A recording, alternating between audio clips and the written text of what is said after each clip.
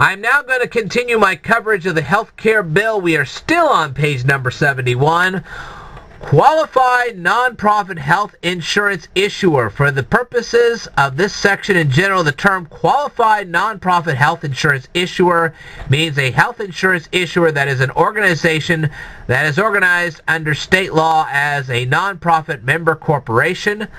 Substantially all the activities of which consists of the issuance of qualified health plans in the individual and small group markets in each state in which it is licensed to issue such plans and that meets the other requirements of this subsection. Certain organizations are of course prohibited. An organization shall not be treated as a qualified nonprofit health insurance issuer if the organization or a related entity or any predecessor of either was a health insurance issuer on July 16, 2009. So, if you were issuing health insurance um, on July 16, 2009 or earlier, you can't qualify.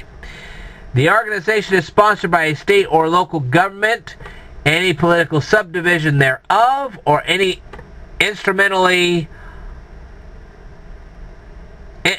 any instrumentality of such government or political subdivision. So, in other words, if you have a non-profit health insurance issuing thing and it's being sponsored by the state or some um, political group like the Republicans, the Democrats, the Tea Party, you name it, then you're not qualified. Isn't that nice? Governance requirements. An organization shall not be treated as a qualified nonprofit health insurance issuer unless the governance of the organization is subject to a majority vote of its members. Its governing, doc, its governing documents incorporate ethics and conflict of interest standards protecting against insurance industry involvement and interference and as provided in regulations promulgated by the Secretary, the organization is required to operate with a strong consumer focus, including time, timeliness, represent, responsiveness, and accountability to members. Wow! There's a mouthful. So, this nonprofit organization has to be subject to the votes of the majority of the members. And they have to have ethics, obviously, and they can't have any conflict of interest. So, in other words, they have to have rules to keep conflict of interest from entering into the nonprofit organization.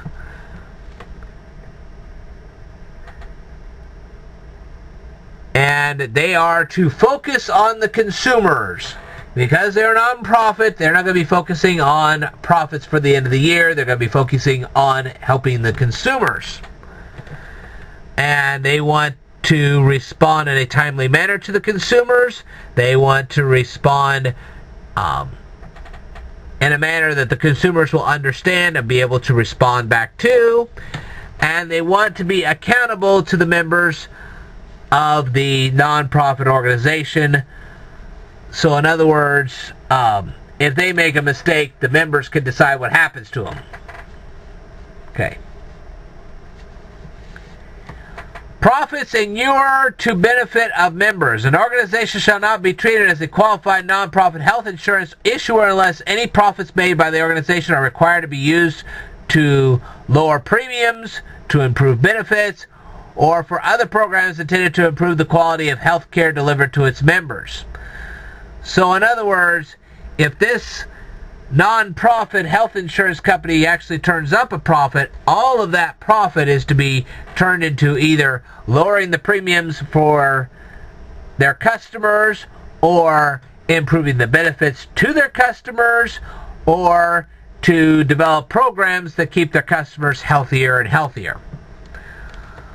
Compliance with state insurance laws. An organization shall not be treated as a qualified nonprofit health insurance issuer unless the organization meets all the requirements that other issuers of qualified health insurance plans are required to meet in any state where the issuer offers a qualified health plan including solvency and licensure and requirements, rules on payments to providers and compliance with network adequacy rules, rate and form filing rules, any applicable state premium assessment, and any other state law described in section 1324B. In other words, not only do these non-for-profit uh, insurances have to comply with the federal government, but they also have to comply with the rules of the individual states also involved. Wow.